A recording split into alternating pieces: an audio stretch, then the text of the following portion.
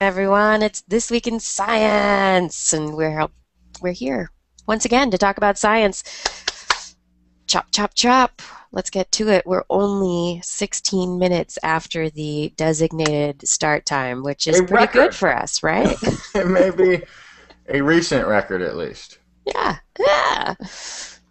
So anyway, uh, once again, I'm going simplified on technology, so we have no music. So uh, What? Well, I can Oh, you probably- have the music.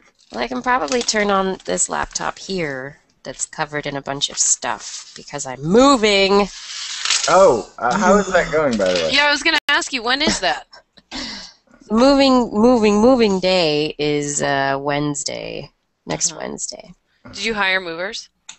We have movers who are coming. Oh, I need a plug. That's good. This thing. The mover's going to move the heavy stuff, and yeah, my laptop's not starting. So, no music. Um, yeah. We have movers to move the heavy stuff, but I still have a lot of things to pack. I'm working on it. I try and get a little bit done every day, but it's starting to get down to the wire. hmm But you can see, you see the little cardboard boxes back here Mm-hmm. on the floor? Yeah. Mhm. Cardboard boxes. Yeah, moving. And then there's the child's laundry that needs to be done so that my child can have clean clothing. All these things still continue to persist. My favorite pl- thing about moving is unboxing. Yeah. And when, why, when you're unboxing, like what always happens to me is I end up leaving a good half of the stuff in boxes. Like I'm like, oh yeah, here's all that stuff. I don't really need this. like cluttering, having it places. What uh, pray tell is that? That's Tree what I'm- It's not tree bark. Hmm. There's something in here. It's a very fun thing. Here, I will. Oh well, don't don't open that on the air. There might be gonna open it- children watching. You see? Can you see that there? Oh, based on this, is there anybody in the chat room who has any idea? Yeah, it's a shiny lens It's a of scope some for your new rifle. kind. Wait, no, it's Yeah. a, Silencer. I will un- I will unveil the object in the wrapping at the end of the of the show. How does that sound? Okay. Hi, Kai. Bye bye, honey. I'm doing a show right now. Kai out. All right. Kai out. Kai out. Drop the mic. he doesn't like it when things don't go his way. Well, yeah, Who like any of us really enjoy. Oh, yay! Things didn't go my way. That's all right with me. I had wanted a promotion, but you fired me. But that's all right. It's cool. Whatever. Whatever. What? You can't fire me because I quit. Oh wait, that means I don't get unemployment. Oh, I shouldn't have done that. Oh, that was really not. too Felt good for a moment. Now it seems like a bad idea. Mm. You want to start the show? After I do a quick commercial for McDonald's. What? Their coffee's actually good. Like, does anybody notice that? It's like not bad. I've heard there are stories about the Mickey D's coffee. There are many. They've gone into like gourmet stuff. Yeah. What's weird though is it does have like ten times more sodium than just licking a, a salt clu- uh, cube. I don't know how they get the fat and the salt in to the coffee, but it's amazing. Ah, okay. Dunkin' Donut has better coffee. I don't know. I haven't tried a Dunkin' Donut coffee. You no. I don't think I have a Dunkin' No. Donut. We still have some mom and pop shop donut stores. I, I can't. No, Dunkin' Donuts coffee is not good. They're like, how much more cream and sugar do you want in this? Yes. Which neighborhood are you moving to? Did you say? Um, Or Just give us the Arnold. address so we can all Google Map. yeah. it So right so tell me your yeah. Let's give everyone your address now. Uh, I thought it was Bernal. That's that's good. Bernal Heights, yes. We will be moving to another hilly area, but with lots of little parks and playgrounds for the child. And Hmm. yeah, it'll be good. We're like blocks away from the public library. What's It's this library? Yeah, library. Yeah, wow. One of the oh, it's one of those places where they um, i- i- preserve endangered paper information Mhm. things. Yes. that's good. Yes. Boxes of books to donate to the library. I'm going to do a library drop off drive by. Here you go. Just going to run away. Go. Do the show. Disclaimer, disclaimer, disclaimer. The following hour of programming is an attempt to prevent the future of the world from going to hell in a handbasket. While this may seem like an unlikely danger due to the rapid decline in handbaskets over the years, and the sizable size difference between the world and even the largest handbasket ever made, this is literally what we're attempting to do. This is one of the first missions of the show, one of many mission statements written down, but one of the few to survive the terrible bar napkin fire which consumed much of the show's ancient texts. And therefore, this is our only literal mission to prevent the world of the future from going to hell in a handbasket is our most important task. But because the future of tomorrow won't be safe if weaving is allowed to continue unchecked, we therefore are filling this hour with anti basket weaving messages in order to create a grassroots movement to ban the practice outright. Here we go. This week in science. Coming up next. Dun dun dun dun dun dun dun dun dun dun dun dun dun dun dun dun. You guys can sing the song, right? And we dance. and we dance to the music. It's science. Uh, but that was like the wrong song, though. Wait, that's the other one. That's the one we had before. That's a really old song. It's science. That's the, my favorite shouting of science. Science. Science. Dun, dun, dun. That was very good, but that's not this one. It's the other one. This week in science. Okay, it's your turn. Let's start the show. Boom. Good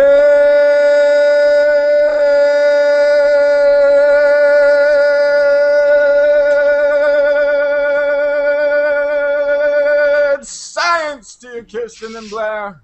Wow.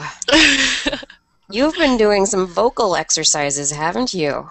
No, I do opera on the weekends. Did I tell Okay, you about just- this? Yeah, just checking, just checking. Welcome, everybody, to This Week in Science, where we will sing you the science news. No. Mm-mm. We'll, we, well, we might break into song occasionally, but uh, yeah. Anyway, it's all about science here. That's what we try to do. And today is no exception. I want to say thanks to everyone who uh, put together a great show last week in my absence. The show must go on, right? Blair, Justin, Pamela, Ulysses, Ed. Awesome. Yeah, it was a good, good show. Awesome. Yeah. yeah. Fun. Super fun. Uh, but this week we've got a lot more news, and so uh, I guess we can get started. Uh, to tease you a little bit about what we've got coming up, I've got a story about uh, your bacterial diet and mm, a story about feathers on dinosaurs, and maybe something about the inconsistencies that we find in our very consistent universe? Hmm? I don't know. Yeah. But anyway, Justin, what'd you bring? Uh, I've got uh, uh, male egos, uh, Neanderthal human love children, and uh, there's a bunch of. I got another bacteria story too. It might be. A, I think if it's the same one, I won't do it. We'll have to check that. If you do it first, then it's all it's all taken care of. I think we'll we'll figure out who gets the jump on this story. Sounding good. Blair, what'd you bring? I have a story about foodie fruit flies. Ooh. Yes, and then also another one about an animal that you could put in your gas tank. Oh, that just sounds cruel. Is that a good idea? Probably not, even considering what the actual story is, but we'll talk about it later. Will I get better gas All mileage if I put Yes. the animal in my tank? Okay, mm. it's gonna happen. Put a monkey in your tank. Ah, the gas monkeys. You gotta love them. Throw them in there. Get a little bit better mileage. Back in the fifties, we used to run on run our automobiles on tigers. sea monkeys and Not as many of them is around anymore. Yeah, no. Uh, anyway, let's jump into the news. So, uh, big, big news this week is um, a discovery about uh, the speed of light, which we have talked about uh, aspects of our universe being measured as heterogeneous or not the same everywhere. And there's been this idea that, okay, the universe, all the constants, are the constants that we use uh, to describe the physics of the way everything works. And so they're constant, and they're going to be constant everywhere all over the universe. But there's been there have been these hints here and there that maybe things are not as consistent in the universe as we've thought. So some researchers uh, did a study um, of light in a vacuum, which has been done before. Uh, these researchers from, uh, let's see, the University, University of Paris Sud, South Paris, Marcel Urban from that university and his team have found that the speed of light in a vacuum varies ever so That's- that's- slightly. That's amazing. That's not good. right? That's No, like that's all That's math fantastic. ever that you've learned is wrong.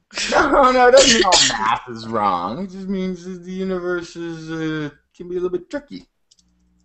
Yeah, so really the the issue is that a perfect vacuum, a truly perfect vacuum probably doesn't exist anywhere in our universe. And so um, when we observe the constants that we that we have in our universe, we are observing them in this imperfect universe where there are all these bits and smudges and stars and planets and little specks of dust all over the place that can have an influence on things on uh, forces like uh, ener- energetic particles or waves like light, right? Um, so they're trying to figure out how this happens. There are uh, other researchers at the Max Planck Institute for the Physics of Light in Germany, and they have been hypothes- hypothesizing as to how uh, these the speed of light can actually vary and how it, it is a constant, but there might be some uh, some variance to it. And they suggest that the impedance of a vac- vacuum, which is another electromagnetic constant whose value depends on the speed of light. Hmm, this doesn't seem like circular logic at all. Anyway, this is from an article in the Christian Science Martic- uh, Monitor that uh, Logan Waterman sent to me. Uh, this the impedance of a vacuum itself depends on only the electric charge of the particles in the vacuum and not their masses. And so that means that the speed of light has to come from the total number of charged particles in the universe. And so uh, we don't really know if that's correct or not. Um, but anyway, Hmm. speed of light in a vacuum fluctuates ever so slightly, and uh, right, all, that would mean also the length of a meter does too, right? Well, you know, yeah, it, the the really kind of interesting thing too. Then you can say is like, is it really? It's not that the speed of light itself would change, but the rate at which it travels through space can change. Right. That's what the speed Which means that space, right? Like it starts to mess because we don't have like we got rid of absolute space. There's not these absolute distances anymore. So it's like ah, how do you even? You're the only relation of space and distances between different particles, and if the speed of light is what we want to hinge it to, then we can say space is wibbly wobbly, and doesn't maybe space isn't a constant. the distance cannot be a constant, and we can keep the, the speed of light. But so Kiki, you said that uh, you can never really have a perfect vacuum, right? Right. So in theory, in a perfect vacuum, in this imaginary perfect vacuum, it might be constant. Oh yeah, Yeah. that's just, that's like when when So that physicists doesn't really change any math, really. doesn't change the math because what the first thing any any you know physics problem does if they were gonna do physics on a cow is they make the cow a perfect sphere, right? Like it Mhm. becomes very uncow-like in a way, and you boil it down to the essential things that are important for your calculation, and you can ignore everything else because it's infinite details on this planet anyway. So yeah, it's just sort of yeah, we, we're rounding the speed of light to the speed of light. I'm sure we're doing just fine. Yeah. Um, It's good enough. We're rounding it up to three anyway, so it's like already not correct. yeah. The uh, so from the abstracts to these two different papers, uh, the first, the quantum vacuum is the origin of the speed of light. We show that the vacuum permeability and permittivity may originate from the magnetization and the polarization of continuously appearing and disappearing fermion pairs. We then show that if we simply model the propagation of the photon in vacuum as a series of transient captures within these ephemeral pairs, we can derive a finite photon velocity. Requiring that this velocity is equal to the speed of light constrains our model of vacuum. Within this approach, the propagation of a photon is, statistical proce- is a statistical process at scales much larger than the Planck scale. Therefore, we expect its time of flight to fluctuate. We propose an experimental test of this prediction. Mhm. Mm. Yeah. So anyway, pretty cool stuff. And then the other one, a sum rule for charged elementary particles.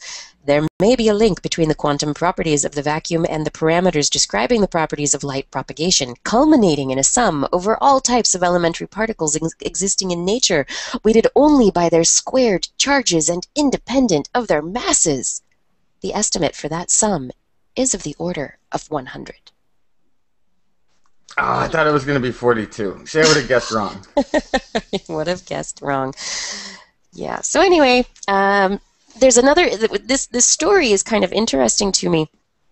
Additionally, because uh, my mother-in-law told me about some uh, talk that was given at the TED conference this year. Um, I'm tr- completely blanking on the name of the researcher who came up, with, but he comes up with kind of controversial ideas every so often. Um, and he gave a big talk about uh, how the constants in our universe are not constant, and how our universe is heterogeneous and not homogeneous, and we've been modeling it as a homogeneous uh, uh, structure. And he came up with all these ideas about what that tells us about our universe. And more, more uh, like- importantly, what that tells us about ourselves. Right. But anyway, I guess there was a big hubbub, and the video got removed from the TED videos, and you know, a bunch of people were like, "That's not right. This is not," and like a bunch of people were arguing in the comments, and people voted that the video should be removed. And so- Nuh-uh. yeah, What the? That's pretty weird. removed. But anyway, So Yeah, yeah, I mean, pretty- much of much of our view, a lot of our view of the universe and space and and everything has to do with being in a particular area of space and having made all of our most all of our measurements right here in the local area, and we assume that things stay the same. And when we do our calculations out into the universe, pretty much work. So why would we assume anything could be different? Uh, but it could be. It could be different to the point where it doesn't matter for the sort of calculations that we're doing here, trying to figure out what elements are in distant stars and that sort of thing. Um, but it could be enough, perhaps, to mess mess with some, uh, you know, some finite physics calculations if you were on another planet in another galaxy halfway across the, the solar system, or the universe. yeah. Uh, some another really cool story that uh, I think is very important. Learning breaks your brain. Researchers have discovered that very similar to what happens to your muscles when you go weightlifting to build muscle, Mm. you know, you kind of damage the cells in your muscles when you use them. And that's and then they rebuild themselves and they get stronger. Researchers have actually f- found DNA damage within your neurons or not yours, but they were I believe they were They mouse somebody neurons. Yeah. mouse neurons, mice, you know, there it's always mi- mouse research Mhm. but pretty much when the animals used their brain to do anything to try and remember something to do stuff they found dna damage. Basically using your brain thinking learning making new connections it damages the dna in your brain and uh, then your your your neurons they have to fix it. You know and maybe that's part of the process of learning. Anyway. And, and Makes sense. yeah, yeah it's it also kind of makes me think of uh, of us, you know, humans with our. Well, I guess it's being the mice too, though. Of all intelligent species, of all this sort of sentient or even animal sentience, whatever you want to call it, the mind is sort of a mutant thing anyway. the So, mind is We're mutant. all we're all just sort of brain damaged. right. Even, Everyone is everyone has brain damage to a certain degree. Um, an interesting point to this story is that they were uh, studying Alzheimer's, and one of the ideas that came out of this is that um, uh, that disorders like Alzheimer's could be a result of the cells in the brain not being able to repair damage quickly enough, and so things getting gummed up, overwhelming the repair system. And maybe some people are more likely to uh, fall into something like Alzheimer's more rapidly than than other people. Maybe they're because of the repairs the, the repair process that that's genetically determined. Environment, genetics. Yeah, I've also heard, isn't it something? And this is a complete. This is not science. I shouldn't. I should keep my mouth shut. But isn't it also sort of like when when the, the in Alzheimer's when the repairs are attempting to take place, uh, it's as though uh, a construction site never got cleared. You have the loose pieces of, of four by four over here. You have uh, un- half-used bags of granite over there. You have the takedown where they put up a wall and needed to tear it down. There's a whole Mhm. bunch of extra stuff in there that Right. doesn't get cleared out, and then the whole site becomes unusable. So they built the house, or they repaired the DNA for this part of the, the you know neuron, but all the building equipment got left there, and now nobody wants to use it. Yeah. Nobody wants to live there because nobody cleaned it out. It's sort Yeah. of like a Yeah, but uh, they've also they've uh, so all of this neural any neural activity leads to brain damage in your brain, and researchers have uh, narrowed it down to the signaling mole- molecule glutamate. So neural activity usually uh, stimulated by glutamate leads to uh, brain damage. hey, I'm going to go read a book and get some brain damage. I'm So going to have a TWIS, get some conversation. Brain damage. Get some brain damage. Yeah, listen Yes. to TWIS. But now, but now, just just a word of warning to our listeners who may not have understood the complete intricacies of this story. Simply giving yourself head trauma does not make you more not. intelligent. That's not what this is. This is not. That's different. It wouldn't work the same. Yeah, totally different. Yeah. That doesn't. So write this down. Uh, we don't. We're not saying inflict head trauma. dam- Bad. damage No, on your head or your brain. No, this is a Brain. natural internal process. yeah, of little DNA bits getting. Yeah. Yeah. All right, Justin, tell me a story. Oh, I need one. Hang on, let me find one. Oh, this is the story. This is the one I was most excited about. Uh, they found skeletal remains in Italy, northern Italy, some 40 to 30,000 years old, believing this could be the first human Neanderthal love child.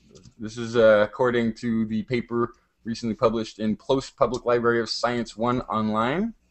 Uh, if this proves correct, that the remains belong to the first one of these that we found. The first one that, well, in a sense, this is slightly debatable because we know that most of us, uh, uh, Western Asian, have a good two, three, maybe even four percent of Neanderthal DNA in us.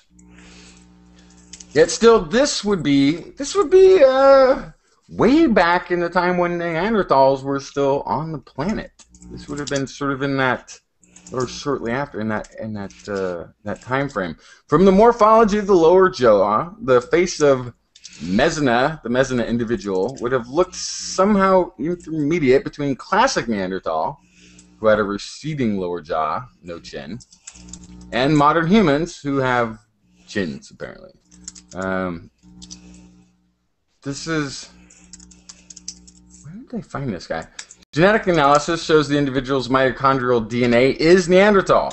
Since this DNA is transmitted from mother to child, the researchers conclude it was a female Neanderthal who mated with male Homo sapiens. Interesting. Wow. Mm. Interesting. So, does that mean that there were some hottie female Neanderthals out there? Probably. That's an extrapolation. or yeah, it could have been the the last, you know, you know. Or were the male humans at the time just not very picky? Back then, by the time modern humans arrived in the area, Neanderthals had already established their own culture, the Mousterian, which lasted some 200,000 years. Numerous flint tools, axes, spear points have been associated with this culture. Like we've talked about on the show too, there have been uh, we found Neanderthals on islands that would have been 20, you know, miles from shore. They haven't found any any boats, any Neanderthal boats, but they can't figure out how else they would have gotten there in, in that period of time to have had their culture there. Um, they've had burnt offerings, uh, ceremonial burials, jewelry. They used plants for medicines. They they had quite a quite a decent culture going. Uh, researchers in this found that the hybridization between the two hominoid species likely took place. The Neanderthals continued to hold up their own cultural traditions. Kind of makes sense there, though, because they would have been the more entrenched culture, and it would have been all these immigrant humans that were sort of finding their way in the new land. So, Yeah, I as much history on what plants to eat and not eat, and what sorts of things were made medicine, what have you. Yeah, I just I just have to wonder, you know, usually in uh you know, mating systems, the female is the choosier of the two sexes, right? Mm. So, you know, was the were the females making the choice that they oh, I'm going to take uh, this is something different. This could be cool, or was it a culture or a culture where you know it was beat the woman over the head, drag her off, and you know Or Leave her- was it leave her uh, pregnant, beat the man over the head and drag him to the cave? Because Right. you know, uh, female Neanderthals were involved in the hunt. Uh, they Mhm. weren't your typical stay-at-home gatherer chicks. They were out there, you know, working, working for, you know, hunting mammoth or whatever they. I don't even know what they went after, but they were involved in the in the hunt right alongside the men. They didn't have uh, much of a delineation in those duties, from what I've, from Yeah. I don't know. I just I love that we're finding more and more evidence of cross cultural influences. Is that a PC way to put it? Between Neanderthals and Homo sapiens, and it's just there's a the tapestry of the story is growing so much richer, and we might eventually find out exactly what kind of, you know, dating habits there were. Or or this could have been a rape. Like you know, exactly, it could this have is been. the we don't have any. I mean, I wouldn't speculate too You've- human male, the Homo sapien males immigrating in, Mhm. not having a lot of their own kind there, not having entrenched culture. They're probably traveling in these little scraggly groups, not as large Oh, groups. and probably weak, you know, weak It- non-hunting women probably falling to the wayside. You know, Right, and so you come into an area where there are, but there, you know, there are people and uh, these kind of uh, interloper males on the edges. I could imagine that they would come in, you know, take an opportunity when that arose, and then be out of there. So this area, though, uh, okay, they, they also found modern humans living in southern Italy uh, in a cave as early as 45,000 years ago. They're saying modern humans, Neanderthals, therefore lived in Italy uh, for basically the same region for thousands of years. So, you know, they had a good long time to, with the cultures, either get along or not get along, uh, figure things out and have peace, intermingle, or be at war. They've had plenty of opportunity to sort of exercise all of these behaviors. Maybe, and probably all of them at some point. Yeah. All right, Blair, give us a little news from the animal corner. Yay! Blair's Animal Corner with Blair. Works at a zoo, fond of hippos, not so much of pandas and squirrels. That's right. All right. Well, So here's what I've got. First off, let's talk about fruit flies and organic food. So Mm. we've talked about organic food on the show quite a few times, and I think most recently we had said that uh, there was a study that came out that said there was no nutritional difference between organic and non-organic food. I think that was the latest one that we had. But there's been lots of studies both ways with this, and it's kind of this weird gray area still. We're not sure what's going on. So this is really cool, um, especially because a high school student did the m- uh, major elements of the research in this uh, study. So this this high school student seems super interested in this whole debate between organic food and normal food uh, that you could buy at the grocery store, and what really is the difference there. And so her teacher allowed her to carry out this entire experiment, and he helped her publish. So she has her name on a published piece of science, which I think is awesome. But so what they did is they took uh, fruit flies, Drosophila melanogaster, uh, you know, as is used for everything. they're, Yeah. they're like the duct tape of uh, of lab animals besides mice, I guess.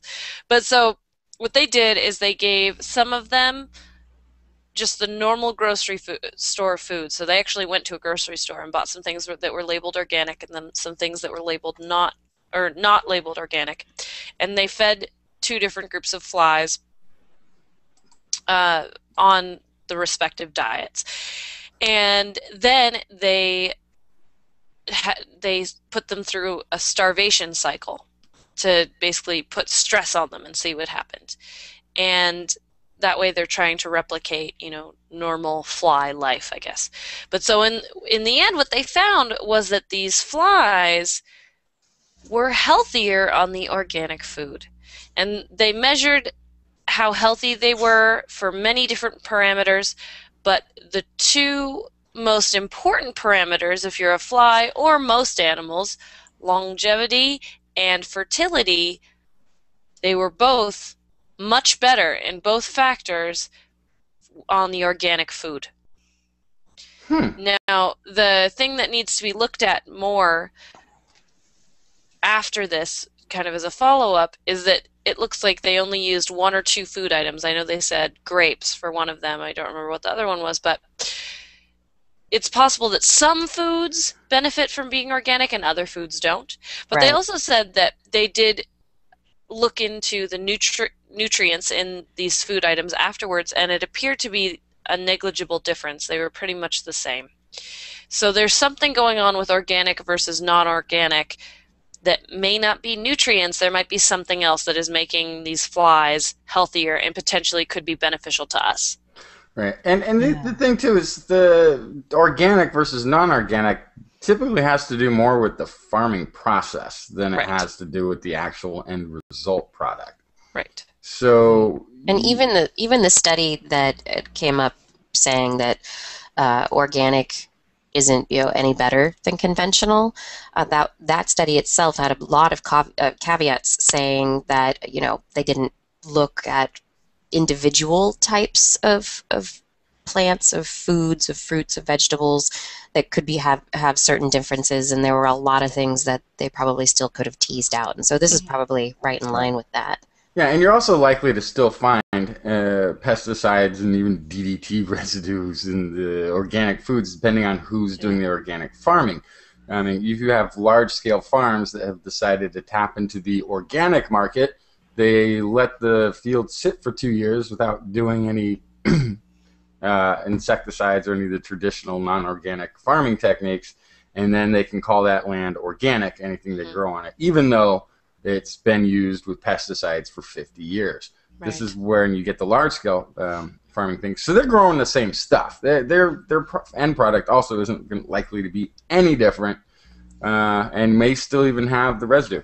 So maybe it's maybe it's residue from the from the non-organic that was hindering the fruit flies, but of course they didn't do the drill down on that yet, or Yeah. have that as a parameter, so we have no idea. It definitely could have been that. There's a million other things also that could yeah. be a factor depending on what kind of organic farm you are. Mm. Some organic farms rotate their crops. When you rotate crops, the soil is better, and a lot of the times you get better food. Uh, there's any number of things that you could look at Mhm. and find actually what is making these organic foods better than the non organic.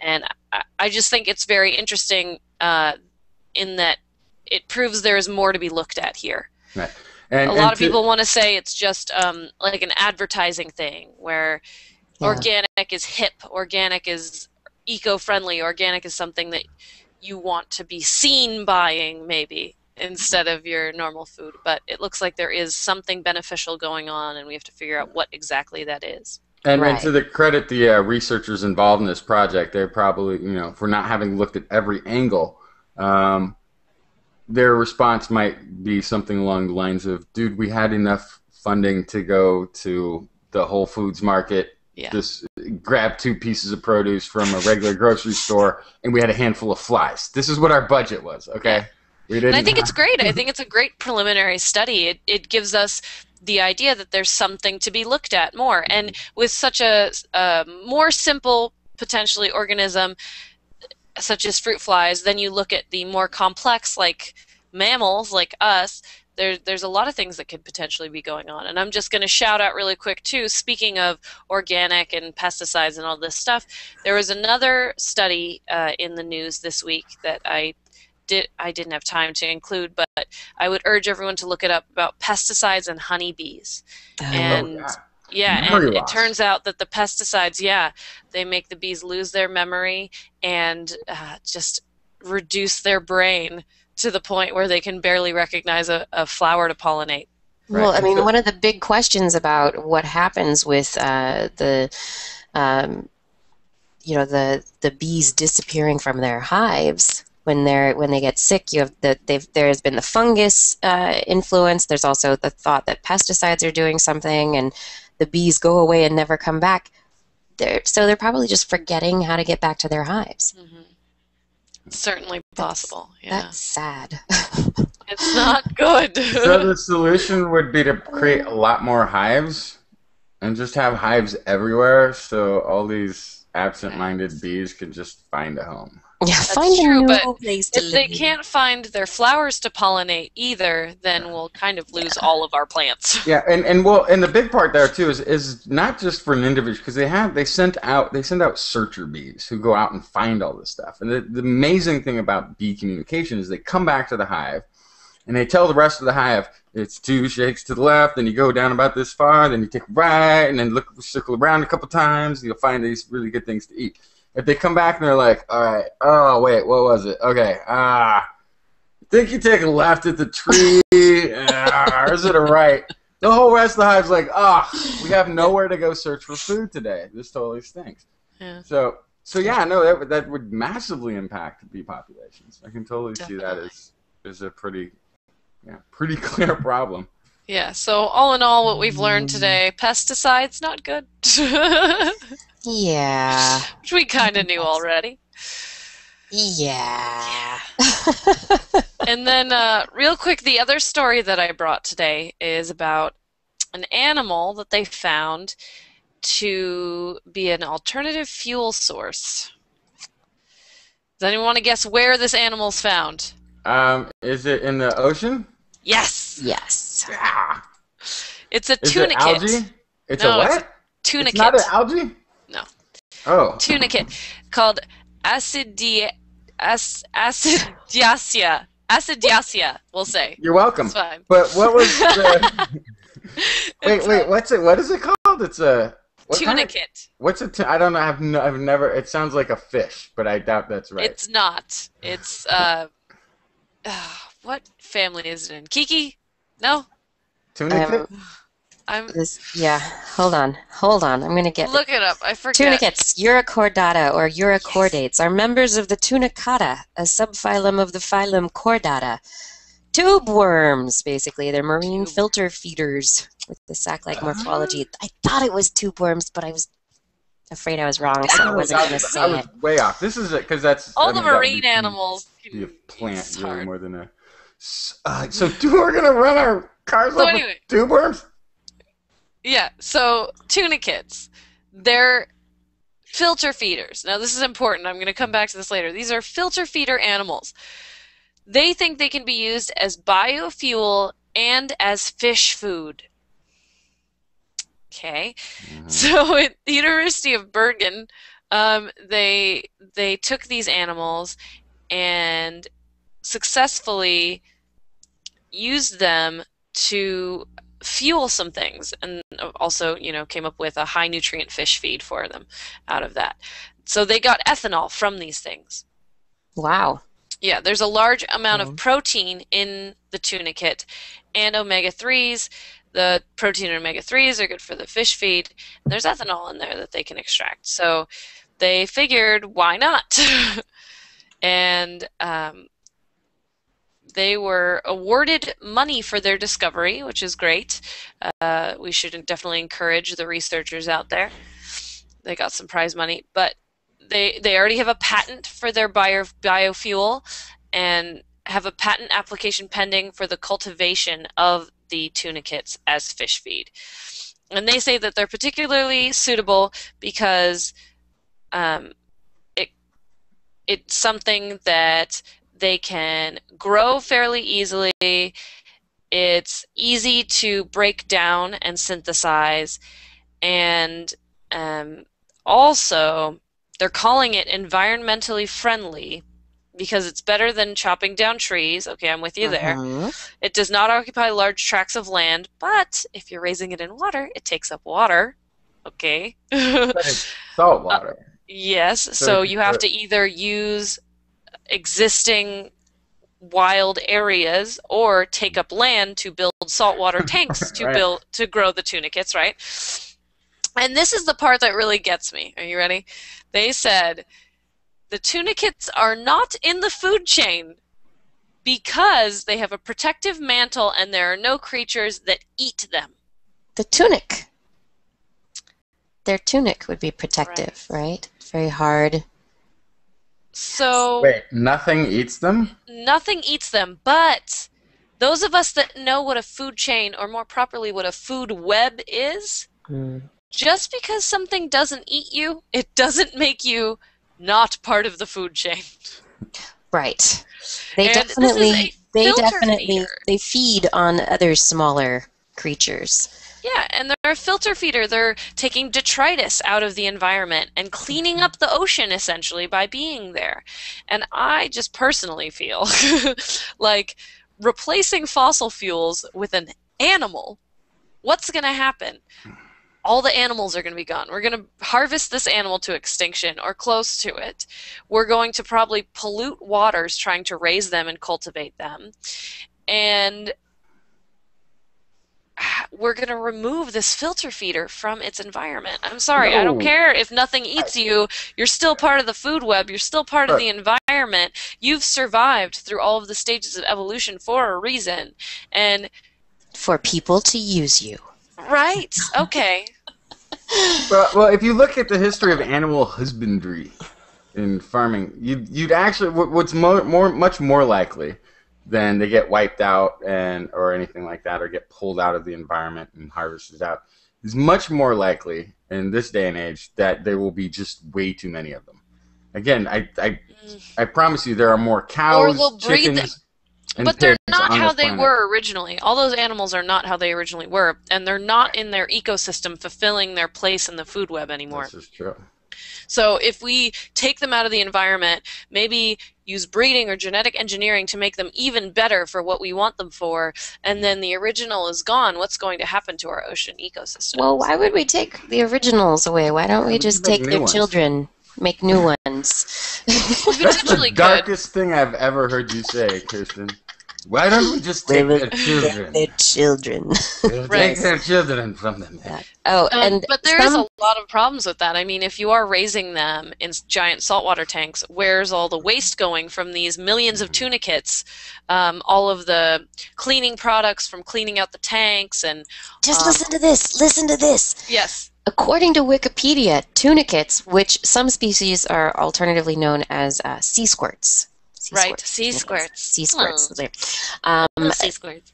tunicates contain a host of potentially useful compounds, including didemnin, didemnins, which are effective against various types of cancer as antivirals and immunosuppressants, aplidine, which is effective against various types of cancer, trabectedin, effective against various types of cancer. And Stanford University researchers in 2007 showed that tunicates over several generations can correct ab- uh, abnormalities.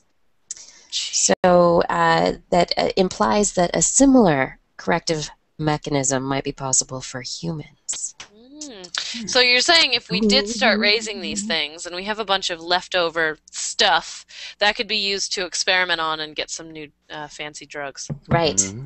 My gas tank is also going to fight my cancer and help me regrow my left pinky toe. Great. That's good. Wow. But then what happens if they breed them and all of that stuff is gone because they've bred in only enough that they can, you know, get all the ethanol they want out of them, and then all of our uh, cancer-fighting elements are gone. There will never be enough ethanol. I just have to, you know. Yeah. Well, that's you know, I th- I think rather than finding a new source for ethanol, it's time to We, the people, will find a source for our energy needs wherever we can, mhm, no matter who it hurts. yeah. And on that Wow, note, that's the second darkest thing I ever heard you say. So anyway, yeah, animals in your gas tank. Think about it. I'm not super about comfortable it. with it. Sea Squirt gas tank. That's right. I'm going to start a gas gas station brand called Sea Squirts. Mhm. Tank Squirts. Um, I was going to say, on that note, it is almost time for us to take a break. Um, additionally, dark things are happening here in the United States. Write our government and tell them that you're upset about the sequester because it is causing things like NASA to stop all education and outreach activities while they figure out how to make up the difference in their budget that they're not getting. So, write your Congress people. Tell them they need to get their act in gear because NASA has a lot to teach us. Right, right. And now we take a break.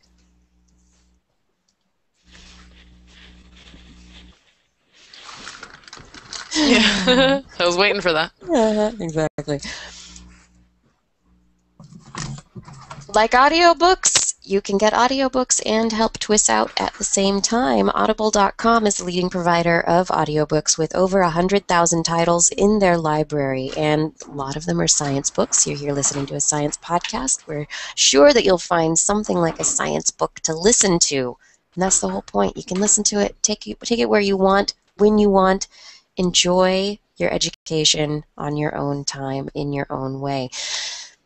Sign up right now for an Audible uh, account, an Audible account. You go to audiblepodcast.com slash twis. That's audiblepodcast.com slash twis. Sign up for an account and you will not only help TWIS out because we get a little kickback every time someone signs up, you will also get a free audiobook download just for signing up.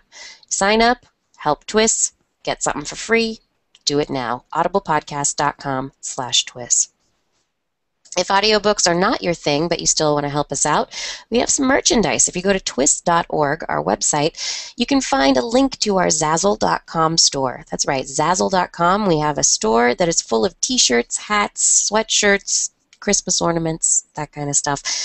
They have the TWIS logo all over the place, all over them, and uh, hopefully we'll have some new stuff when I get it when we have a minute to design it and put it in the account. But there's stuff there. Go check it out.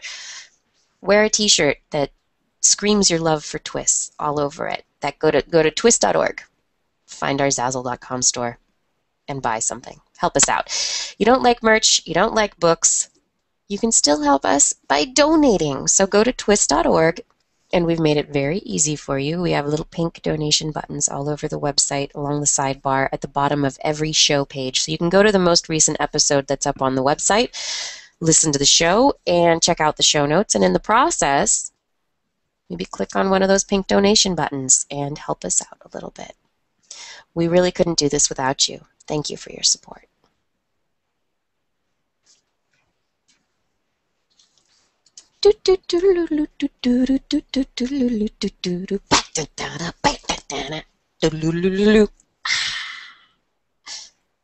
And we're back. This is This Week in Science, and we have lots more science news because we still have the last half of the show to get through. I'm glad Justin's coming back so that we can get on with the show because the show never stops in the science world. People are always trying to figure things out. Right? What? Why would they do that? Anywho, Justin, you're back. You want to tell a story? Once upon a time in a land far, far. Wait, no, that's the wrong story. Hey, here's an interesting one. Uh, weigh in on this as you may. Story here, headline is uh, this is right off the Yahoo Science News, which I'm, by the way, very happy that they've separated science and technology in both the Yahoo and the Google um, news feeds, because those are totally different things. It's sort of like let's put uh, sports and travel into the same section. It's, they are very different. Uh, the, the headline here is Men Get Ego Boost from Workplace Power. It says uh, men reap more rewards from having power in the workplace than women do, new research is showing. The University of Toronto study revealed benefits of having more authority in the office, including greater job control, higher earnings, are not evenly distributed for men and women, which I think we are probably all aware of. The researchers also found that the men who achieved the highest levels of structural power more, were more likely to perceive their jobs as more autonomous and influential. In addition, even when the men in the study shared a similar, similar level of authority in the workplace, they were more likely than women to feel they had decision making freedom and a greater influence over what happens on the job.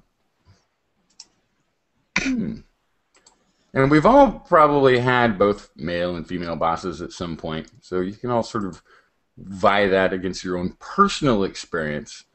Uh, we know what job resources like authority and uh, autonomy or income tend to bundle together. Yeah, this is one of the researchers in this. And yet our research suggests that the bundling of these job rewards continue to differ from for men and women. And I wonder if I wonder if it's something psychologically just different about the way men and women approach work, mm-hmm. or is a side conversation we were having earlier if um, because the, the we know that there's a pay difference, uh, typically even in the shared roles, if that is part of why men feel a little bit more empowered in the workplace than women, is it is that a possibility? The patterns we discover suggest that even when women lean in and attain greater authority at work, the structural features of power have different consequences for the subjective experience of autonomy and influence in ways that favor men. Hmm. Do you feel favored here at TWIS, Justin? Me? No, I'm just a Do the ladies who... intimidate you? no, no. Um, but I, I tell you, I, I, uh, I, I and this show does. I don't think this shows work. First of all, no. So, right. um, this is play.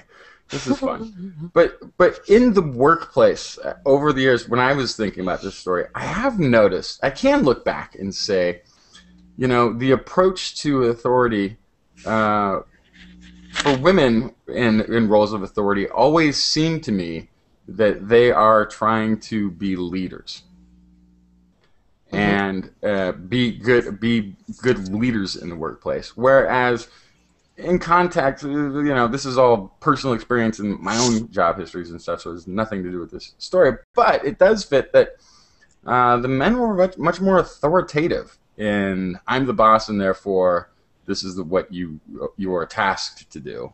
Well, yeah, it, it, definitely could have something to do with uh, uh, communication and how mm-hmm. women are uh, brought up to communicate and how we communicate naturally, uh, where we it's been shown that even from a very young age, girls do much better in a group learning experience. Boys do much better when they're separated and it's kind of uh, more individual and even more hierarchical. Um, women do a lot better when there's collaboration as opposed to um, just being, you know, told what to do. Um, there there are a lot of psychological differences between men and women that I'm sure would lead to patterns of how they approach authority roles.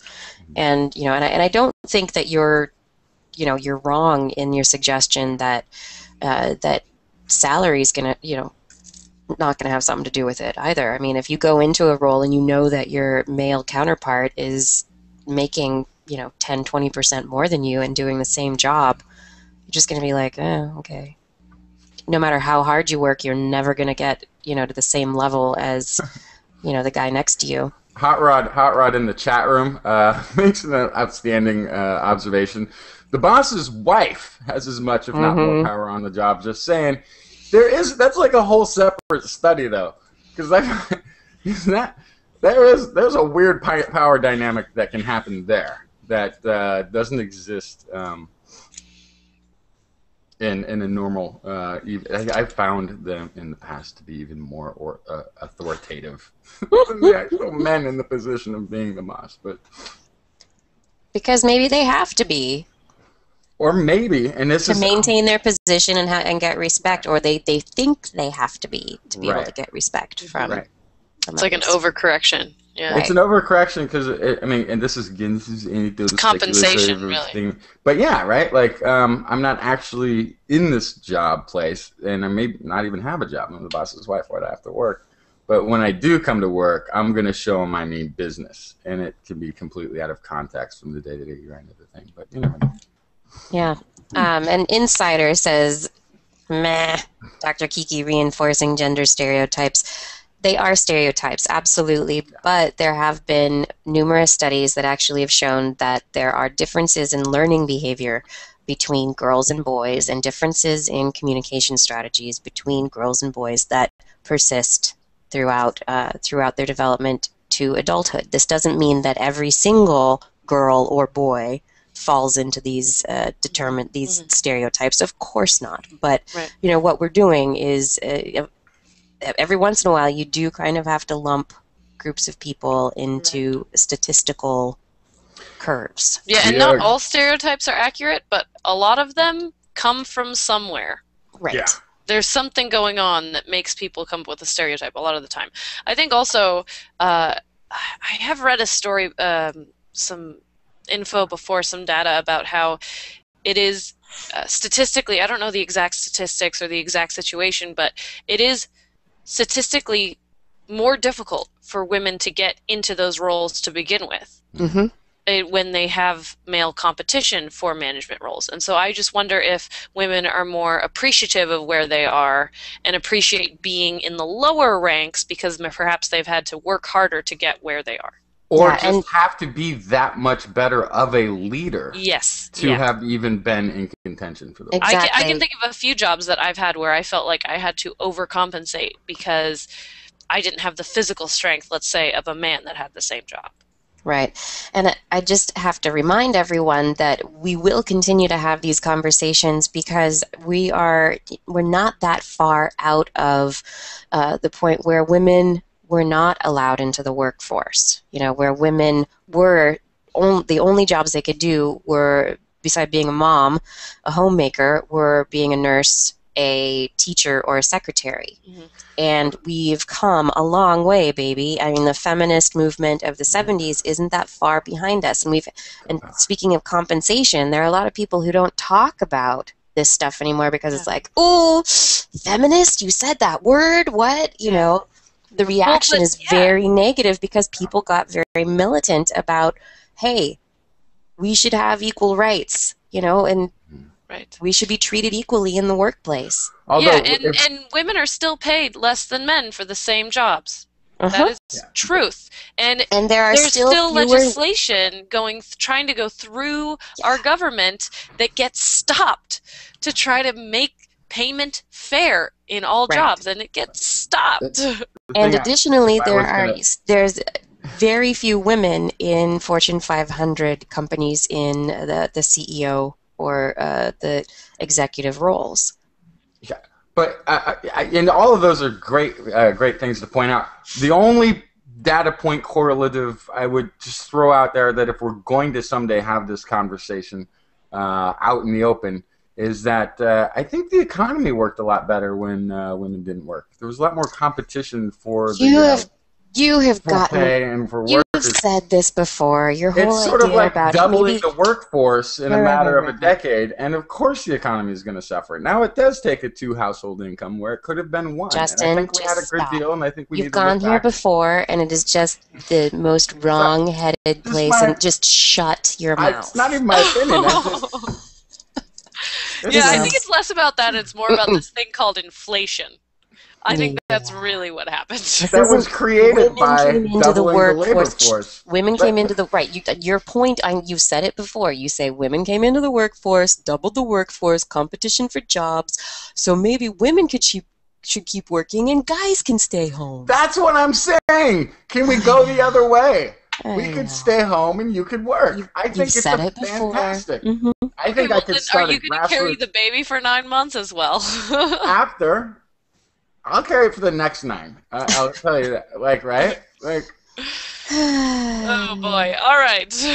Moving on. I have stories. I have stories to talk about. Let's talk about science. I know. We obviously got into some kind of a psychological hot button there, didn't we? Ah, how do you want to lose weight? How about the bacterial way? Ooh. Have you been considering um, maybe having a lap band put on? You, you know, you, you've reached a point where uh, gastric bypass surgery is maybe uh, where you're headed. Well, researchers publishing in Science Translational Medicine uh, have started trying to figure out what exactly is behind a lot of the weight loss that happens. They've noticed that in people and also laboratory animals who have gastric bypass surgeries that the makeup of the bacteria in their uh, in their gut biota and also the, the, the feces that come out after the operation dramatically changes. And so is it the operation and that change that causes it? Is it the you know change in food? What happens to lead to this change in bacteria? And do the bacteria actually have anything to do with the weight loss that occurs?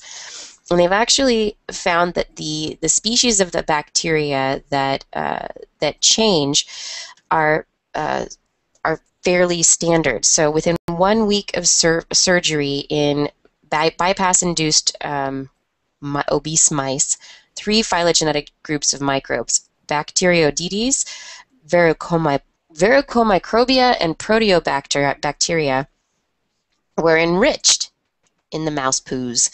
Five weeks after, the restructuring of the, the populations of microbes had stabilized, and mice lost 30% of their body weight and exhibited metabolic changes, so that the, the weight loss uh, resulted in uh, lower blood glucose levels, changes to insulin sensitivity, and they were able to tie about 5% of the body weight loss specifically to bacteria.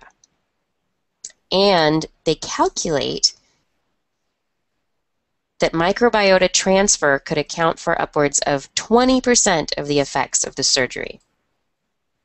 So maybe in the future, you won't have to have the surgery, but they will induce a change in your mi- gut microbe populations, and that will help you lose weight and get So- healthier. Just the nature of cutting into somebody changes their bacteria. No, not I mean, not just cutting into somebody. There's, I mean, it's a it's a dramatic change that takes place when you do a, a bypass surgery. Uh-huh. There's, you know, there's a a bypass. There's they're taking out a significant uh, chunk of the uh, the intestine, the small intestine, and just bypassing it. Mm. So there's going to be uh, less surface area for uh, for absorption of food of nutrients, um, Right. less room. That the there's going to just be a dramatic shift as a result of that change to the environment, but they don't know exactly what leads to it. So they don't know why this surgery changes your gut bacteria, but it just does. Yeah, so uh, one of the researchers says we began to see in patients that got bypass surgery that they were not hungry and that they were not craving what they used to crave. uh, energy expenditure goes up rather than down. So everything about bypass surgery seems to be the opposite of what would happen with a diet. Hmm. Yeah, that's kind of an interesting, just an interesting effect, and there is some causal link between the microbial gut community, how it changes, and the weight loss that occurs. So, I, I mean, invasive surgery, I think, should usually be one of the last, uh, Mhm. you know, last things that you do. I mean, it, you're going to be put to sleep. There's a lot of risk in all the in, in having any kind of surgery. So, if you can reduce that and just, you know, have a, you know, microbial population of fecal transfer to your gut, if you could have um, bacterial probiotics that you take, you know, Or- that would you be pretty just- awesome. You could just eat your fruits and vegetables. But that's not always the whole the whole part problem. But but uh, as I'm about to uh, Behavioral to- changes are sometimes the hardest things to do. So Right, but if if you want to take the the microbial approach, your fruits and vegetables might be the best source. A recent study here showing fresh fruit and vegetables carry an abundance of bacteria on their Mm. surfaces, not bacteria that are causing disease, just uh, good flora. And the first study to assess a variety of these non-pathogenic pathogenic bacteria, scientists report that these surface bacteria are depending on the type of produce and cultivation practices. Remember the story earlier about the fruit flies. This might come back right in here. Study, study focused on 11 produce types that are often consumed raw. Found that certain species, like spinach, tomatoes, strawberries, have very similar surface bacteria, with the majority of these microbes belonging to one family. Meanwhile, fruits like apples, peaches, and grapes have more variable surface bacterial communities from three to four different groups. Authors also found differences in the surface bacteria between produce grown uh, doing using what is now traditional versus organic farming practices. The uh, authors suggest several factors may contribute to the differences they observed. Uh, blah blah blah. So, in this, in this, yeah, they found the organic labeled produce had significantly greater richness of bacterial uh, variation compared to the conventional labeled produce, like on spinach, lettuce, tomatoes, and uh, was significantly lower in richness uh, on peaches and grapes. maybe this Results, I think. explains the results that Blair was talking about earlier. Exactly right. So Mhm. maybe, maybe the thing, the final equation of why the the fruit flies were living longer could have been they were getting exposed to more bacterial variation, and had nothing to do with the pesticides themselves. Yeah, and maybe the pesticides and the the stuff that we use, you know, maybe it gets rid of maybe it's yeah it's too aggressive it gets rid of good bacteria that help Mhm. help us digest that help us get more nutrients that help make the food as as good for us as possible as nutritious as possible because that's what we're learning a lot about is that there are all these bacteria that end up in our guts and they help us digest stuff and they can inhibit the production of of uh, pathogenic uh, bacteria, right? Yes. So they will be in there competing for your the you know the space in the gut. they will compete so you don't have to yes, yes. This is kind of what I was going to ask you though about the gastric bypass thing is do they know that it's the surgery that's causing the bacteria change or is it the fact that these people after they do the surgery a lot of the time they change their lifestyles also they change the things that they eat Yeah. and that would change your gut bacteria. Right That that would, but if you, uh, I mean, whenever you're having a surgery, they're probably hitting you with a lot of antibiotics, so you don't get also so you don't get infections and right blah blah blah. So it's probably a good one-two punch there. Right? Mhm. Yeah, I would imagine. I think the uh, the interesting thing about it is that you know you'd think you reduce the amount of surface area and you know and uh, real estate within your stomach and your gut for getting nutrients into your body, which it's the same. It should be the same as just reducing the amount of food you eat, Mhm. except you don't have to. And with the gastric part, they like uh, they cut the bottom. I think it's they cut the bottom of the stomach or something, and so it your stomach is smaller, and so Mhm. you're you're not not supposed to be as hungry, and it shouldn't change your bacteria. I mean, you wouldn't think that it would change the the bacteria. So maybe Justin's right that maybe there is a resetting because of the antibiotics that you're on for the surgery, and then that added to you're eating less, and maybe you're eating diff. I don't know. I have no idea, but they don't know. They're trying to figure it out. That's interesting. Right? Hmm. Yeah. So interesting. Mhm. Um, oh, I have a question for you guys. So I read a story uh, that was sent to me by Virgil Correlado over on Twitter, and it's a story over on Verge that Jurassic Park is going to be coming out with a new sequel within the series. Jurassic Park 4 is coming out next summer. And between the time that Jurassic Park 1 came out and now, we have learned a lot about raptors, velociraptors, T Rexes, dinosaurs that were featured in Jurassic Park. We know that they had feathers, right? And they were very colorful, and there were all these things about them that we have learned since the, the franchise got started. The director of, uh, of JP4 made a Twitter post says no feathers, hashtag JP4, and uh, people are thinking that he doesn't care what science says, that he's going to stay stay with the traditional view of dinosaurs and raptors from uh, the original movies. What do you guys think? Should the Hollywood movie update? Well, thankfully, in the years since that do? movie and this movie, not only has our scientific understanding of dinosaurs improved, so has our computer rendering ability. Oh, So, I know. Feathers Yeah. should be no problem, right? They can do smoke. Like before, smoke was like, yeah, you can render anything but smoke. That's pff, that's impossible. And now they can do that, no problem. So yeah, I say uh, slap on the feathers. The tough part then is deciding where to put them and how many and what colors. It's a lot of artistic license that I think somebody could handle.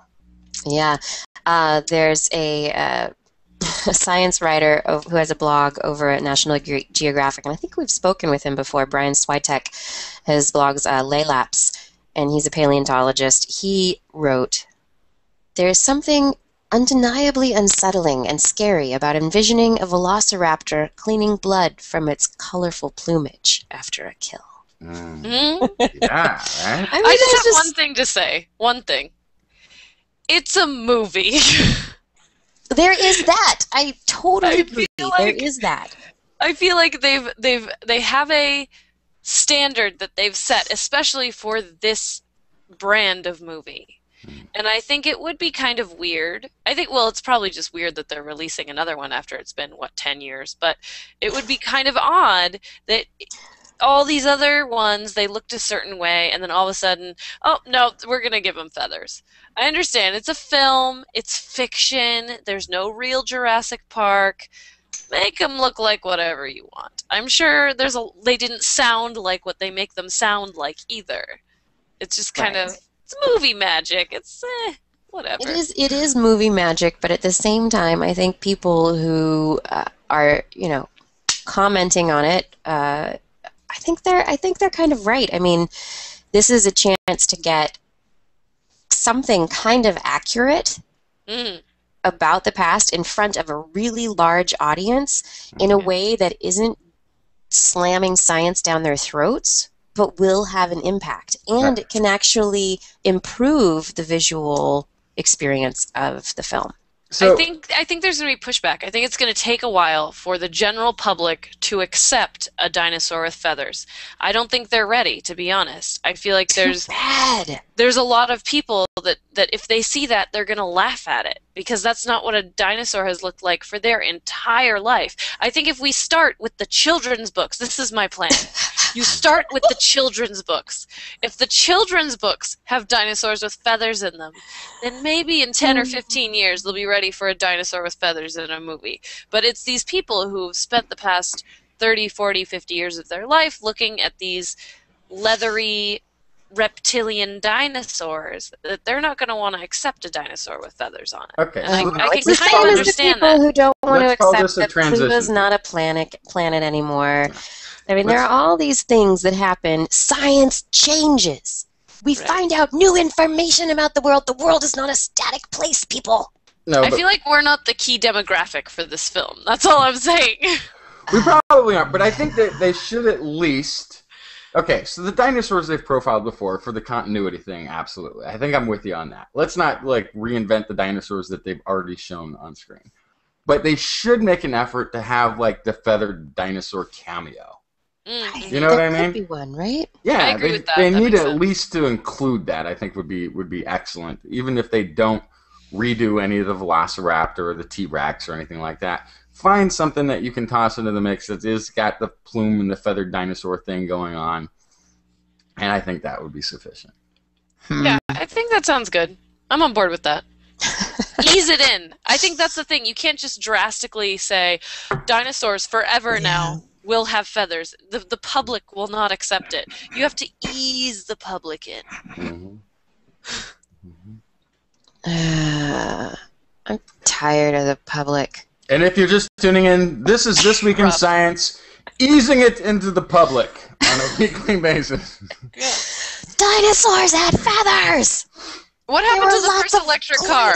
It was flying gone in a month. George a Dinosaurs. monkey. This is all I'm saying. When the scientists figure these things out, the public don't accept it right away. It just, it just doesn't happen. You have to take- Dinosaurs are not dead. you have to introduce the hybrid first, and then another hybrid, and another hybrid, and then maybe an electric car. You mean like you in evolution? Yeah, Big Bird I'm is just a saying humans are kind of stubborn, and they don't like to accept change in general. I know. I know. I don't like to accept that people don't like change. Change is good. Mm-hmm. Change There's is- bad change. I'm too. moving. I'm very excited about I this. embrace all change. Really? It's like it's like we're a shark. If we stop moving, we will die. Ah. Well, it's that, you know, if you find yourself comfortable in life, I mean, it really kind of means that you're not improving anymore, right? Yes. So change, while being difficult, also means that you are challenging yourself and you're accepting learning new things about the world. So, as hard as it is, change is good. Words from This Week in Science. Uh, you had a quick uh, World Robot Domination story, is that right? And then we can head on out of here. Yeah, sure. Um, I wanted to screen share it actually. So Do let it. me. Do you want me to do it while you talk? Uh, yeah, you have the link in there. There's a video. It's awesome. So uh, Carnegie Mellon University, their biorobotics lab, have engineered what I call a snake bot. They didn't call it that in the article, so maybe I'll just TM that. But they engineered a robot that can coil itself around poles and trees. Um, so they're thinking that this can be extrapolated into a larger robot that then could be used to fit into areas where an a robot with appendages couldn't fit. So maybe in a wreckage situation where they needed to do search and rescue or some other sort of tight space they could get in there. And so they already have a robot that can pretty much slither like a snake. They move without arms or legs, but now they have one that coils. So I'm going to stop talking so you can see the video on the big screen. Yeah, it is. They're throwing this uh, metal segmented snake at the at a football football goalpost, and it's American football, not uh, soccer. And when it hits whatever object is, is just wrapping itself around it, coiling Wow. over and over again. Now climb, snake, climb into the trees. That's one thing that terrifies me. Snakes in trees. Drop onto your head. How, how often is that really going to happen in San Francisco, Kiki? Thank goodness not very often. It's why Yeah, I don't live in uh, Central. South America or Africa or Australia. Actually, and actually, Or you Florida now. Stay away can- from Florida. Oh, Can, you can run into it in Napa too. I mean, it's we got rattlesnakes throughout Cal, uh, California. Rattlesnakes aren't arboreal. Yes, they are. Yes, they are. Yes, they are. Not not they won't be intrigued. That's why I said Napa, um, because they do climb up. This is one of the hidden dangers in harvesting grapes from the from the wineries in California is that the the rattlesnakes like to get up on the the grape. What do you call them? The things that the grapes grow on, the trellises or whatever those things Yeah, the are. vines. Yeah. The vines grow on, and because they're all about you know a, a person tall or so, you know, and and they like to get up there because then they can get into the sun. So then the pickers going through sometimes are confronted with a rattlesnake right there, right in front of ah! So that can happen. There's still danger from snakes. Much danger from snakes. Eh, really? Here, I found one. I found one. Uh, following up too on, I've got a robot story. Uh, there is a researcher have just unveiled a large robotic jellyfish. Um, this is a five foot seven inch long, 170 pound. Looks very jellyfish-ish and has the uh, autonomous robotic jellyfish type movements. Um, yeah, it's uh, they're they're thinking that they're going to use them for for patrols in the water. The U.S. Naval Undersea Warfare Center and the Office of Naval Research is providing five million dollars for this project. Um, I'm thinking too they could be uh, good harvesters for your tuna cats. Tuna cats. So is this different from the robotic jellyfish that we saw f- several months ago that could keep going potentially forever? You remember that? Yeah, this might be uh, this might be the same one, but with now it has funding from the Navy. no, it's got some money. Now it's gonna be under the oceans, keeping us safe from communism. Awesome. All right, everybody. I think that about does it for our show tonight. We've got uh, robots taking over the animal world and uh, brain damage whenever you think. So, uh, and oh yeah, the speed of light is no longer constant. So many things we've learned tonight, right? Except when it is. Except when it is. Then it's Except when- constant. and then it is constant when it isn't fluctuating. Right. And you- anyway, I like to give a big shout out to Virgil Corralato over on Twitter because I uh, took suggestions for his stories this week. Thanks a lot for your suggestions. And Logan Waterman, thanks for your suggestion as well. and next week, um, oh, I will really try to have an internet connection and do the show, even if it's from a laptop. I will have just moved on Wednesday and will be unpacking boxes and stuff, so I might be surrounded by boxes, but I will try. We'll be back on Google Plus, YouTube Live, using Hangouts on air next Thursday, same time, same place. Follow us using using social media and all that stuff. And uh, yeah, we're done, right? Thank you, everybody, for listening. We hope you enjoyed the show. TWIS is available as a podcast. Just Google This Week in Science in your iTunes directory, or if you have an Android device, you can look up TWIS for Droid in the Android Google Play Marketplace. But also, we've got a TWIS app in the Apple Marketplace as well for the iPhone. That's right. And for more information on anything that you've heard here today, you can head on over to our website, twis.org, where, where we will have links to stuff, show notes. And we also want to hear from you, so why don't you send us an email? That old form of communication, you know. Uh, my email is kirsten at thisweekinscience.com.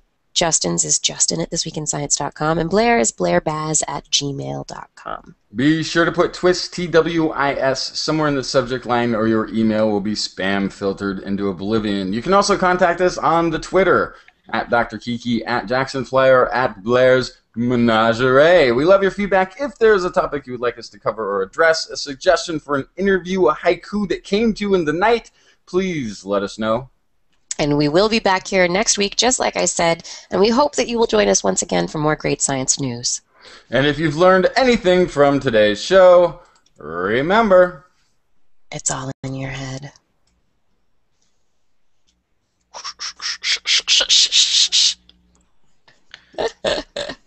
Oh, what just happened here? You opened capture. You, hit- you hit a button.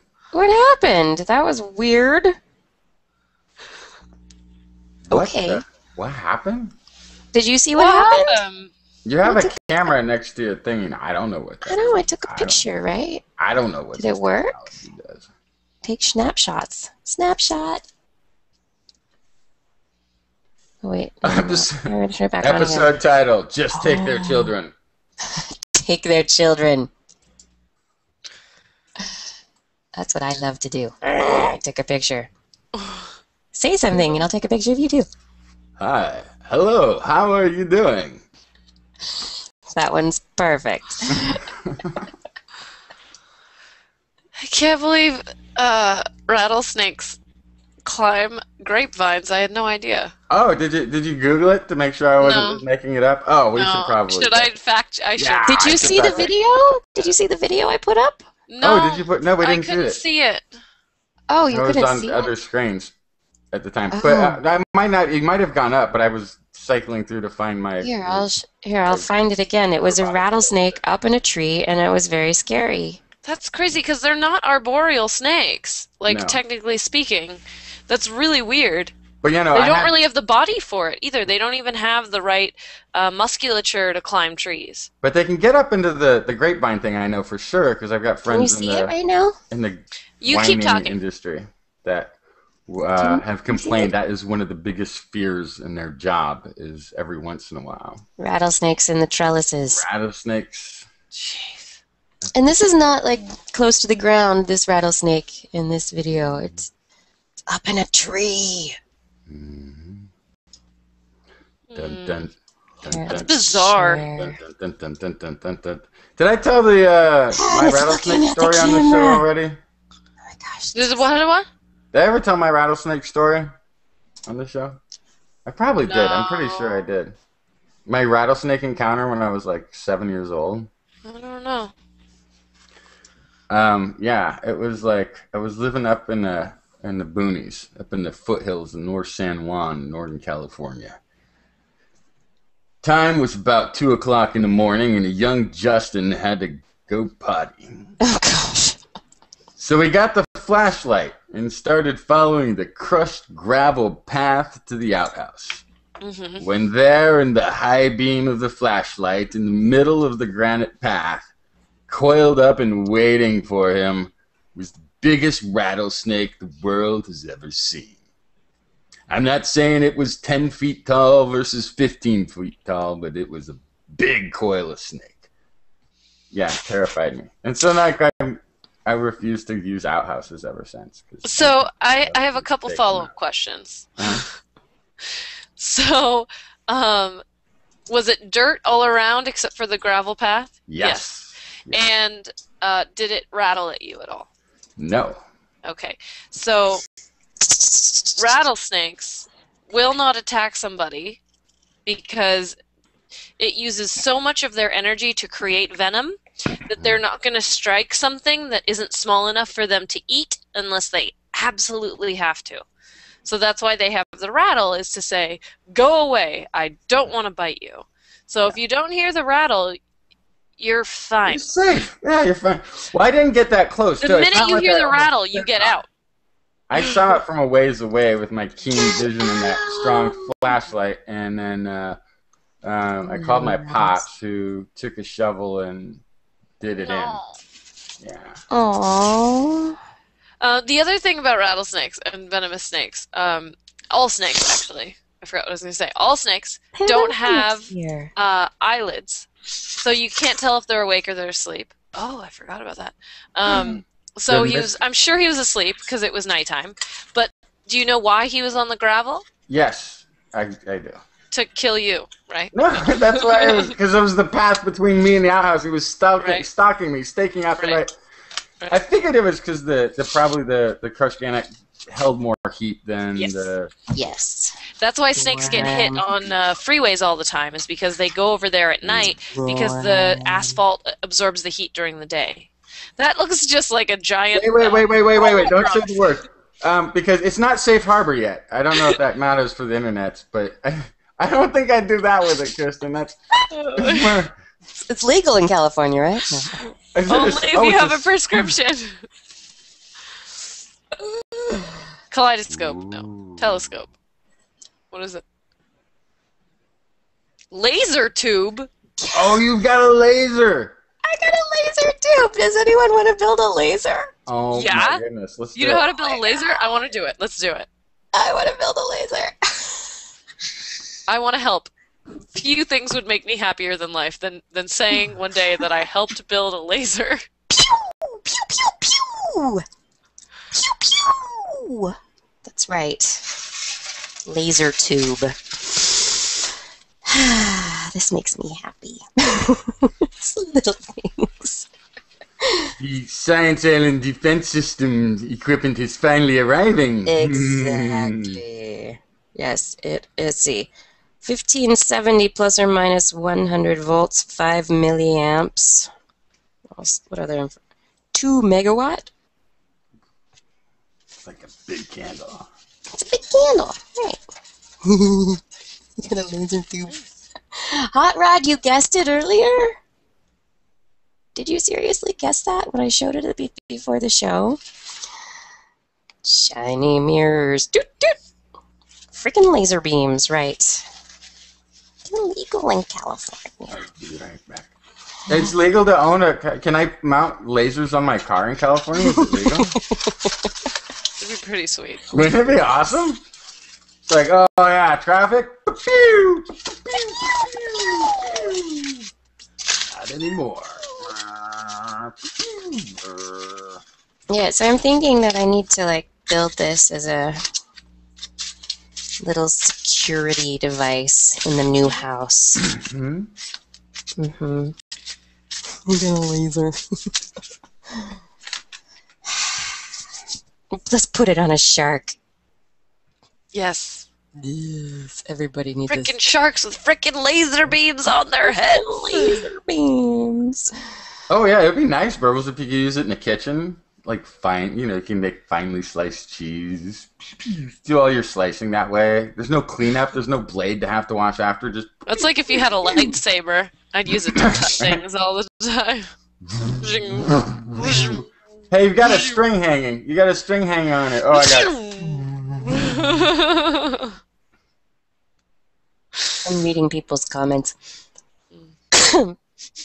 yeah, that's the part of the lightsaber that, like, otherwise I would say maybe we could come up with one one day, but the the fact that you know it has an end point, quite understand how that works. Yes. Mhm. Yeah, it's a little. Doesn't really make sense. Lasers. There are people talking in my house. Who's in my house? Oh, I think I have guests. oh, Marshall has guests. Mhm. We're showing people through the maze of boxes. mm. That's what's happening here. It's pretty exciting. Are you excited for your move? I am. I'm very excited, actually. you like the new It's- house? I do. Good. Yeah, it's a good new house. I mean, there are so many great things about this house, but that I will miss for sure. And the neighborhood is fantastic. But I will be very excited to embark on this new journey, new neighborhood. It's like a fresh start. Yeah. Fun. Ooh, can I boost the laser and write TWIS on the moon? Oh, I'd be like Chairface Chippendale. That would be awesome. I'm just moving inside San Francisco Rebar. I'm going to uh, Bernal Heights. Nice little neighborhood. It'll be fun. Identity Far! You wrote, thank you for recording. Aw, darned office Wi Fi poopy times.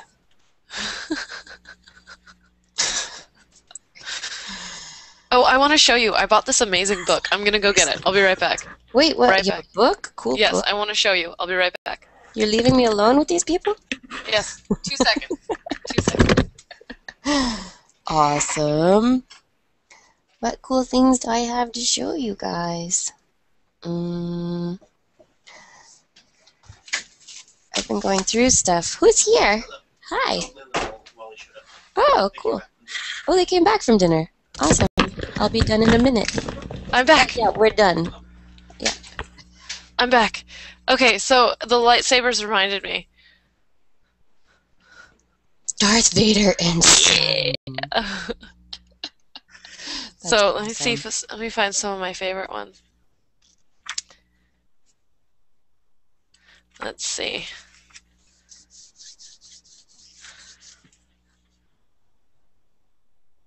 Can you read that? Yeah. Maybe. That's funny. I am altering the deal. Pray I do not alter it any further. Look, look at this one. I love this one. Cookies. Use the force, son. Look, of course, they had to go to the zoo.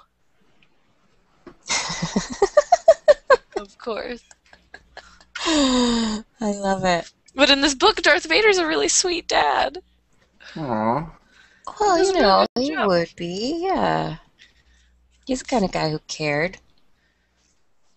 He did, he cared. Oh, did you guys watch the uh, the zombie movie I made for Kai? Zombies for Kai? That sounds Yeah. inappropriate.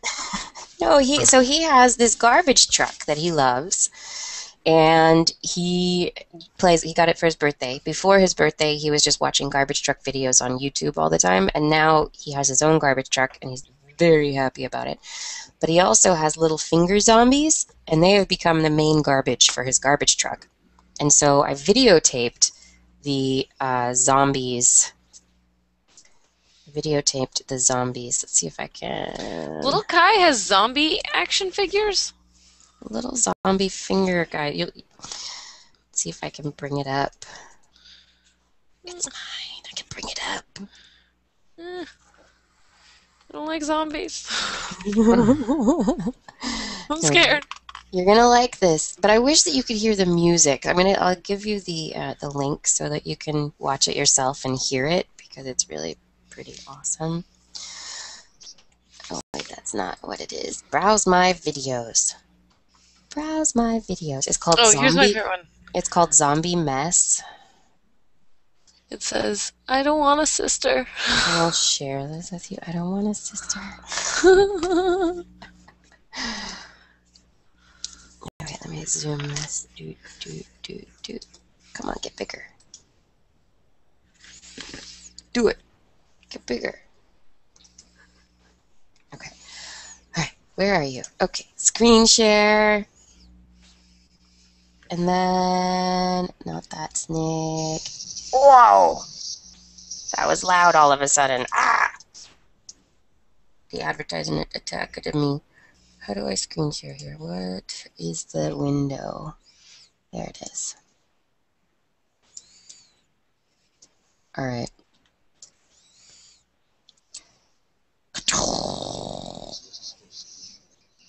Uh, come on, make the ad go away.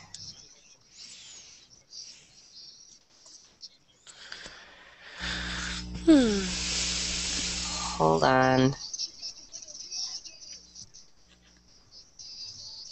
You guys don't need to see the battle. Oh, wait, what is this? This isn't even my thing. This is stupid. Where'd my thing go? Here we are.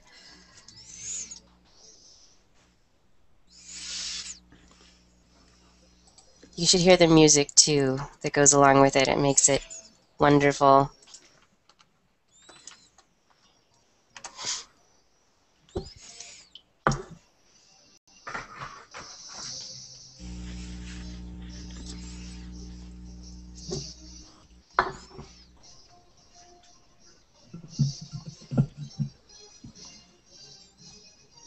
Kiki, you have to talk, so it's the big one. Oh, the big one.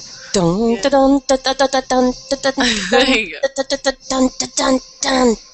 dun, dun. Yeah, you guys have to watch it on your own systems because it's Oh. it's just hilarious. It cracks me up. It makes me laugh. My finger puppet, my finger puppet zombie movie. Is it on your YouTube station? It's on, yeah, uh, Kiki, my Kiki Sanford YouTube The, station. oh, Kiki Sanford. Okay. Yeah. Great. Great.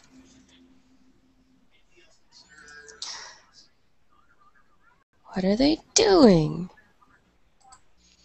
People are doing things. What's going on out there? People So I'm watching right now. Okay, Wow, this I'm has some high production value. Right? movie. This, yeah. This was um, it's um, what's it called? Hi. It's what you call it movie uh, maker iMovie. They have templates. Wow. Really amazing. Yeah, you can make a template. iMovie. It's amazing. He loves his zombies, his garbage can zombies. Any of you who have uh, children out there, That's fantastic. Yeah, and there's another one that's just video of him playing with his zombies. It's the, you know, it's the whole movie. hey, look, there's a child back there. Privacy. We'll have some privacy here. Huh? Yeah. Um. Yeah. Adjust position of chair. This is what I have done, and you can see my boxes. More boxes here, Hmm. and a feather duster for dusting because moving means there's a lot of dust. Anywho, uh, I should probably go. It's almost nine thirty. I think there are people who have come to visit my house. Okay. There are. I'm gonna go say hi to them. What happened? It. What happened? It. All right. Good night, everybody. Thanks for hanging out. We will see you next week again for more This Week in Science plus This Week in Science after show. Yeah! Just like that. Thanks, everybody. bye bye. And